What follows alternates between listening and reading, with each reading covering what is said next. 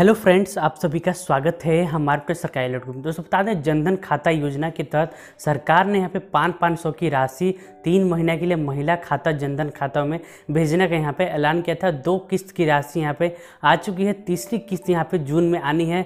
कब से आएगी? इस तारीख से आएगी पहले किनको मिलेगा? सारे डिटेल आपको इस वीडियो में बताएँगे। वीडियो को अंतिम में ज़रूर देख लेंगे उससे पहले अगर हम हमारे चैनल सरकारी अलर्ट पर नए हैं तो वीडियो को लाइक करके चैनल को सब्सक्राइब कर दें तो क्योंकि ऐसी पल पल की अपडेट हम आपको देते रहते हैं। दोस्तों, बता दें, सरकार की तरफ़ से तीसरी किस्त की राशि कब दी जाएगी? जून में कब से शुरू होगा? आपको बता दें, खुशखबरी। महिला जनधन खाते में पाँच सौ रुपये की तीसरी किस्त जून के इसी हफ़्ते में डाली जाएगी। यानी कि एक जून से यहाँ पे आपकी इसी हफ़्ते में डाली जाएगी। किनको मिलेगा? सबसे पहले आपको यहाँ पे बताएँगे। तो देख सकते हैं, जनधन खाता में तीसरी किस्त जल्द होगी जारी। यहाँ पे महिला जनधन खाता में थर्ड इंस्टॉलमेंट डेट, जो कि यहाँ पे है आपको यहाँ पे केंद्र सरकार देश में कोरोना वायरस के ये पीएम यहाँ पे गरीब कल्याण महिलाओं के खाता में तीन महीने का पंद्रह सौ राशि दे रही है, जिसमें से पाँच सौ तीसरी अंतिम किस्त जो है दो, जून 2020 में पहले हफ़्ते में भेज जाएगी। यह किस्त महिला जनधन खाता धारकों के अकाउंट में दी जाएगी। तो देख सकते हैं, तीसरी जो किस्त है जून के इसी हफ़्ते में आएगी। कौन सी तारीख से आएगी?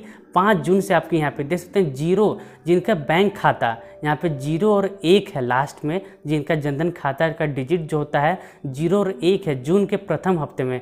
आपको दोस्तों बता दें कि मई महीने में पाँच जून से, यहाँ पे मई महीने में पाँच मई से यहाँ पे जनधन खाता में आना शुरू हो गया था। तो जैसे जनधन खाता में पाँच सौ रुपये की तीसरे की पाँच जून से खाते में डाली जाएगी। यानी कि खाते के अंतिम अंक के आधार पर डाली, अंतिम अंक के ज़ीरो एक वाले के पाँच जून, दो तीन चार को यहाँ पे छः जून, पाँच छः को यहाँ पे सात जून और आठ, नौ को आठ जून से रुपए यहाँ पे डाले जाएँगे, यहाँ पे सरकार की तरफ़ से भेज जाएँगी। और आपको बता दें, पिछली यहाँ पे, पिछली यहाँ पे सरकार ने यहाँ पे पिछली मई की राशि देख सकते हैं। ज़ीरो एक जो राशि सरकार की तरफ़ से जारी की, चार मई को भेजी थी। दो तीन जो अंतिम राशि है, अंतिम डिजिट है, उनके पाँच मई को, चार, पाँच को छः इसी तरीके से इस बार भी आपके यहाँ पे पाँच जून से आना यहाँ पे शुरू हो जाएगा। और दोस्तों बता दें कि यहाँ पे पाँच सौ रुपये जो जमा राशि है, वो आप कभी भी यहाँ पे विड्रॉ कर सकते हैं।